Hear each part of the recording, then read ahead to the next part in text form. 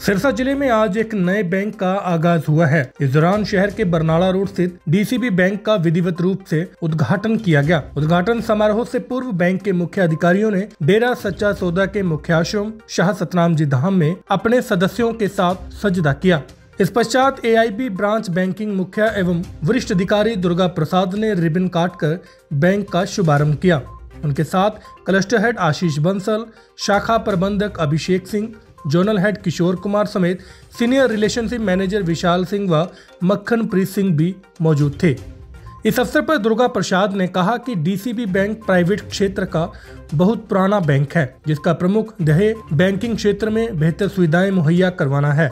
इसी संकल्प को लेकर हम चल रहे हैं। आज हरियाणा की बारहवीं शाखा का सिरसा में शुभारंभ किया गया है। उन्होंने कहा कि हमारी सिरसा में नई शुरुआत है इस लिहाज से लोगों को बेहतर सुविधाएँ मिलेंगी। साथ ही, यह बैंक उपभोक्ताओं को गोल्ड लोन समेत होम लोन की सर्विसेज़ भी मुहैया करवाएगा।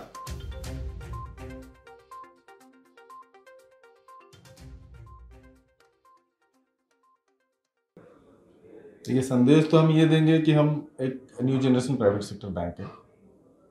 और हमारा जो प्रोडक्ट है, बहुत बेहतरीन प्रोडक्ट है। हमारा एक संदेश रहेगा सिरसा वासियों के लिए कि बैंक के साथ जुड़े। बहुत जो है अभी तक इंडिया में हम लोग फाइनेंशियल इंक्लूजन में आ नहीं पाए। बहुत लोग नॉन बैंकिंग में भी काम कर रहे हैं। कैश में काम कर रहे हैं महाजन से उधारी ले रहे ये हम हमारा संदेश ये रहेगा कि बैंक के साथ आप जुड़े। बस। बैंकिंग सिस्टम के साथ जुड़ जाए। बहुत लोग।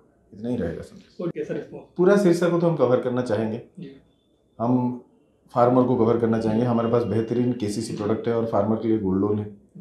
हम व्यवसायी को भी कवर करना चाहेंगे व्यापारियों को भी क्योंकि हम करंट अकाउंट में भी बहुत बेहतरीन प्रोडक्ट देते हैं। हम सर्विस वालों को भी कवर करना चाहेंगे क्योंकि savings bank account and F D savings bank account and F D में हमारा इंटरेस्ट रेट बहुत ही अच्छा है और लगभग सबसे ऊँचा ही है। तो हम सारे सेगमेंट जो है वो कवर करना चाहेंगे सर सर तो हरियाणा में सर कितने ब्रांच हैं? ये बारहवीं है। ट्वेल्थ ट्वेल्थ देश विदेश की तमाम खबरों से जुड़े रहने के लिए सब्सक्राइब करें सच कहूँ और बेल आइकन प्रेस करके पाएँ हर लेटेस्ट अपडेट सबसे पहले।